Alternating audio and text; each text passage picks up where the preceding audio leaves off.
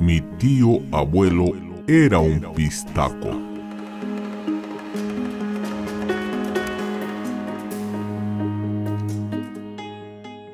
No sé si me crean o no, pero yo sí lo creo. Me lo contó mi abuelo, y hace algunos años atrás, antes que se fuera de este mundo. Me lo contaba cuando era ya un muchachito inquieto y me gustaba salir por las tardes con mis amigotes. Yo no le hacía caso a mi madre, pues siempre llegaba muy tarde, ya de muy noche. Y en una de esas noches, cuando entré a la casa, mi abuelo me esperaba en la sala, fumando su tabaco en una pipa. ¿De dónde llegas muchachito tan tarde? Me dijo calmadamente. De pasear por las calles, abuelo, le dije. Quizás pasaste por el puente Arango. Me preguntó. Claro que sí, abuelo. Siempre pasamos por ese puente. Deben tener cuidado al pasar por ese puente. No hace mucho que las personas desaparecían en ese lugar. Dijo parsimonioso. ¿Qué va a ser, abuelo? Ahora los tiempos ya han cambiado. Ya no existen esos fantasmas o aparecidos que solían verlos de tu época. Le contesté despectivo y ya me iba a mi cuarto sin darle importancia a lo que decía.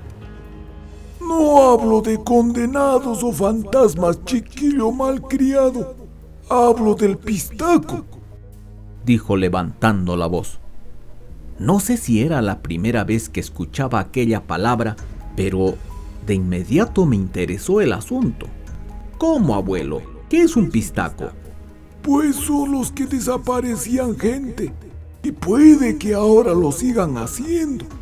Se sabe que hay personas desaparecidas cuyos familiares los andan buscando. Pero abuelo, ¿qué es un pistaco? Volví a preguntar.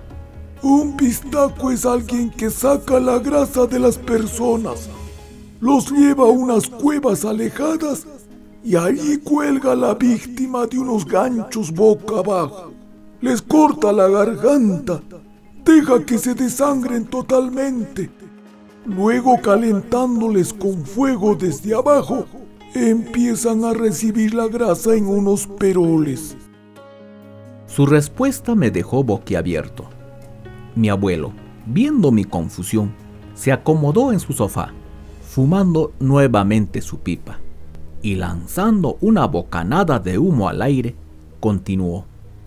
La gente piensa que los pistacos son una leyenda, un mito, o un relato para asustar incautos. Pero no es así. Los pistacos son reales. Son personas comunes como cualquiera de nosotros. Puede ser cualquier persona. Quizás el vecino o algún conocido dedicándose al vil negocio del acopio de la grasa humana. ¿Cómo lo sabes, abuelo? Los sacagrasas no creo que existan. Le dije dudoso. ¿Qué vas a ver tú esas cosas? Tú eres un mocoso de hoy en día.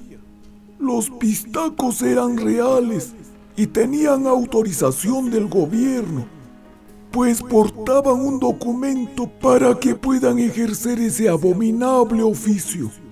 Por eso que cuando los capturaban los policías, estos mostraban su documento y lo soltaban sin más. ¿Y cómo sabes tú esas cosas, abuelo? Volví a preguntarle. Mi abuelo se quedó en silencio, levantando la mirada hacia el techo. Se perdió en sus pensamientos. Sus ojos se tornaron tristes. ¿Acaso recordó alguna nostalgia? Pero luego se arquearon como expresando una amargura inevitable. ¿Cómo sabes, abuelo, de los pistacos? Le requerí de nuevo. Es que el hermano de mi padre, o sea, mi tío era un pistaco.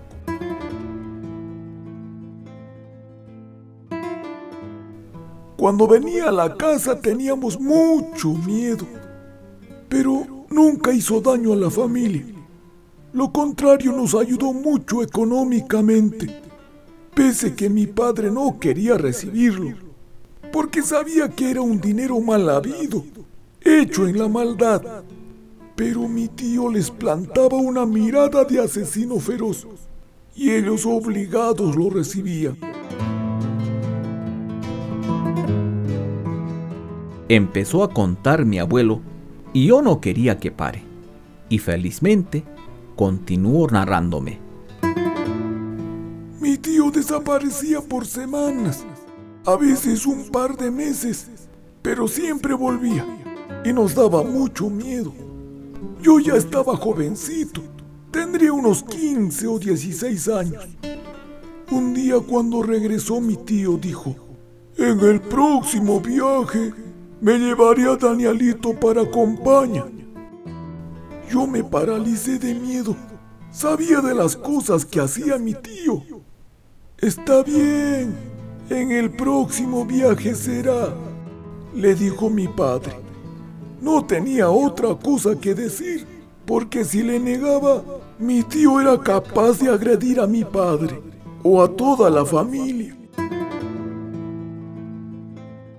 Ya te dije que le teníamos mucho miedo. Tenía un aire de malignidad que el solo verlo infundía miedo. Recuerdo que aquella vez se fue vestido de mujer, así con pollera.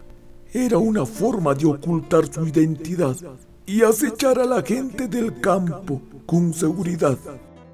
Pastores, caminantes, nadie escapaba si estaba solo.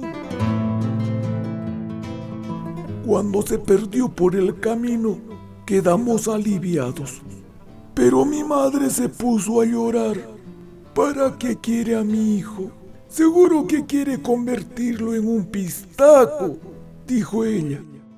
Mi padre con el rostro entristecido le dijo, mejor vámonos a Lima. Allí no nos encontrará. No podremos escapar del maldito de tu hermano siempre nos encontrará. Pobre Danielito, dijo mi madre llorando.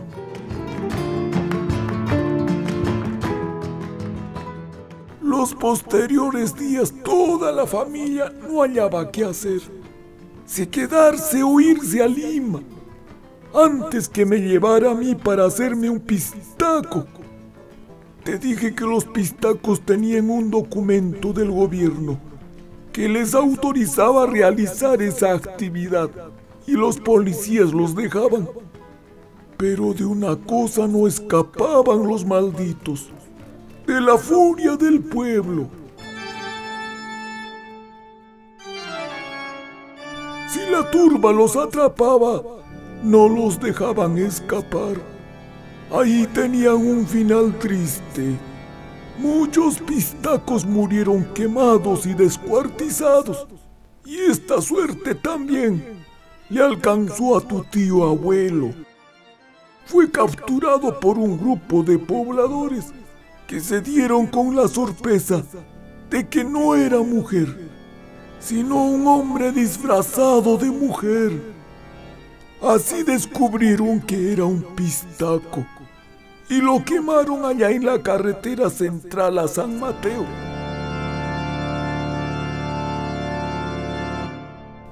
Mi padre fue a identificarlo. Lo reconoció por el anillo que llevaba entre los dedos. Nunca dijo que era su familia. Pese que era su hermano, mi padre regresó contento. Y al saber toda la familia se alegró. La que se puso más contenta fue mi madre, que me abrazó alegre, pues seguro que me salvé de ser un pistaco. Yo me quedé impactado con la narración de mi abuelo. Estaba mudo y pensativo, hasta que mi abuelo me dijo, Así que jovencito, no estés andando de noche.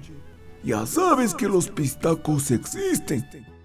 ¿Quién sabe que sigan operando porque hay tanta gente desaparecida? Sí, sí, abuelo. Ya no saldré en las noches, le dije casi susurrando.